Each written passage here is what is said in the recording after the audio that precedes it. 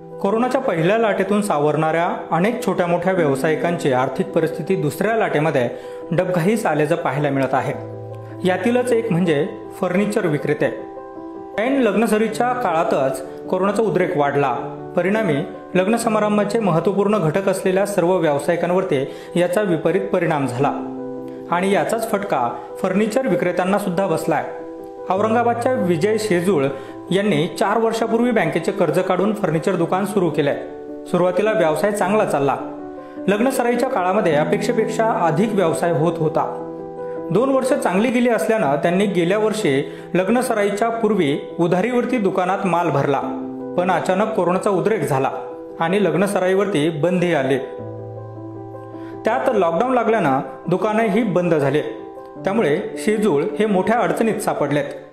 लॉकडाऊनचा बघ फटका म्हणजे अक्षरशः आम्ही गेल्या दोन वर्षापासून काय म्हणतो कोलॅप्स झालेलो आहोत. सुरुवातीला जेव्हा पहिल्यांदा लॉकडाऊन लागलं तर तेव्हा आम्ही जी पुंजी होती ती उद्योगात लावली.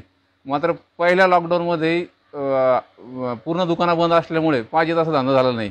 आणि दुसऱ्या लॉकडाऊनला तर फार कंबरडं मोडलं. ह्या लॉकडाऊनमध्ये मागचं जे लावलेलं होतं ते तर गेलं. शिवाय आता बऱ्यापैकी कर्ज झालेले आहेत. बँकांचे हप्ते देणं बाकी आहे. व्यापारी लोकांचं देणं बाकी आहे. यामुळं टोटल कॉलॅप्स होऊन गेलं आहे म्हणजे काय करावं तर ती समजत नाही आहे सध्या. ॲक्च्युअल आमचा व्यवसाय हा तीनच महिन्याचा असतो. उन्हाळ्यामध्ये.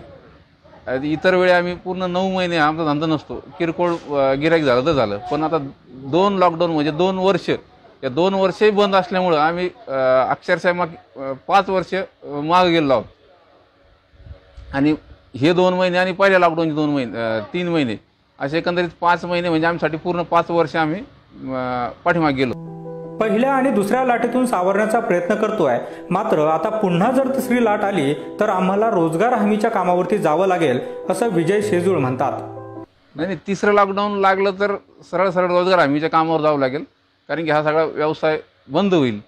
यात शंका नाही आहे. आणि आम्ही इतकं म्हणजे दरवर्षीच लॉस घेऊ शकत नाही. त्याच्यामुळं तिसरा लॉकडाऊन लागेल किंवा नाही लागेल पण लागला तर आमच्यासारखी परेशानी कोणाचीच नाही. शिजूळ यांच्याप्रमाणेच इतर फर्निचर विक्रेत्यांची अवस्था देखील आहे. दुकानात लाखोंचा माल पडून आहे. काही उधारीवरती तर काही कर्ज काढून आणलेला आहे. मात्र ग्राहकच नसेल तर लोकांची उधारी कशी फेडावी असा प्रश्न. झाला असं का? समजा आता मागच्या वर्षी बी कोरोनाची लाट आली होती पहिले. आपण लाखोची गुंतवणूक केलेली आहे. पहिले बी समजा पूर्ण धंदा संपला होता मागच्या वर्षी आणि आता परत दुसरी लाट. दुसऱ्या लाटीमध्ये बी आपण समजा बँकेचे कर्ज घेऊन कुणाची उधारी घेऊन समजा आपला धंदा कसा बसा सेट केला होता. परत या दुसऱ्या लाटीत मग आता असं सारं नुकसानच झालं ना आपलं. काहीच धंदा नाही शून्य नाही ग्राहकच नाही ना लग्नच नाही होत ना. आता कुणाला मोठे लग्न करायची हौस राहते? आता वीस माणसामध्ये लोक लग्न होऊ नाही राहिले. मग आता धंदा पूर्ण त्याच्यामुळं पूर्ण संपला. आणि त्याच्यात बँकेचे हप्ते गाड्याचे हप्ते माणसं गोडामचे भाडे पूर्ण पूर्ण पूर्ण फ्लॉप झालेला आहे सीजन मागच्या आता कोणती तिसरी लाट येते आता त्याच्यामध्ये असं झालं तर व्यापारी तर पार मेला समजा मग आता. करायचं कुठून आणि करायचं नियोजन कसं करायचं पुढं आता? सगळं संपलंय. ही आमची दुकान जरी मोठी दिसत असली तर मोठ्या माणसाच्या मोठ्या वेदना असे म्हणावं लागेल. हे दुकान भाड्यानं आहे. आणि हा सगळा माल आम्हाला क्रेडिटवर येतो.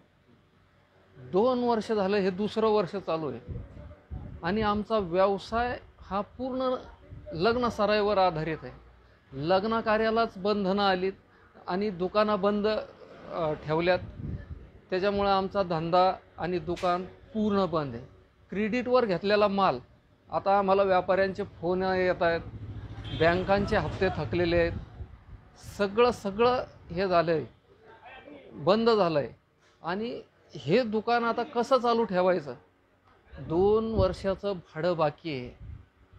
आता मालक हे खाली करा म्हणतो आहे त्याला द्यायला पैसे नाही.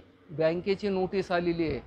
आणि व्यापारी हे वेगळ्या वेगळ्या फ्रीजचे कपाटाचे हे सगळ्या मालांचे व्यापारी आम्ही क्रेडिटवर भरतो लग्न साहित्य विकतो.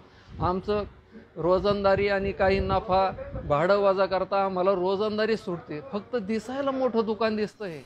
मोठमोठ्या वस्तूंनी भरलेले फर्निचर दुकानात दिसायला लाखोंचा माल असतो. त्यामुळे दुकानदार सुद्धा मोठा व्यापारी असल्याचा अनेकांचाच समज असतो. पण कोरोनामुळे बडा घर पोकळवासा अशीच काहीशी अवस्था फर्निचर विक्रेत्यांची झाली आहे. मोहसिन शेख मॅक्स महाराष्ट्र औरंगाबाद.